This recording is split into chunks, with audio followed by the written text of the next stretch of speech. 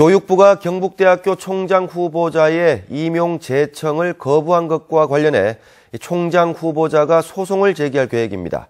지역의 시민사회단체들도 교육부를 규탄하는 기자회견을 여는 등 파장이 더욱 확산되고 있습니다.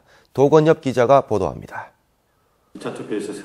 경북대 총장 1순위 후보로 선출된 김사열 교수는 교육부를 상대로 소송도 불사하겠다며 강경한 입장을 밝혔습니다. 공주대학에서 또 방송통신대학에서 그런 식의 똑같은 사례가 지금 벌어져서 이미 그런 소송을 하고 있기 때문에 시기의 문제지 제가 그걸 가지고 어 뭐 이런저런 고민을 할 일은 아닌 것 같습니다. 대구지방 변호사회가 대규모 변호인단을 꾸려 소송에 동참할 것으로 알려진 가운데 경북대 출신 변호사 45명도 성명서를 발표하고 교육부가 아무런 이유도 없이 임용 제청을 거부한 것은 위법 행위라며 결정 철회를 촉구했습니다. 시민사회단체도 가세했습니다.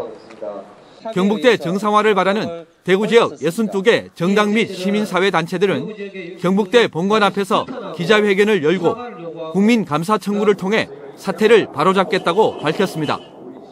독재적 교육 행정으로 교육부 본연의 직무를 방기하고 있어 규탄받아 마땅하며 사실상 이러한 결정이 교육부 단독의 결정이 아니라 윗선인 청와대와 대통령의 결정이라는 게 공경한 사실로 소리소문 없이 지역사회에 퍼지고 있다.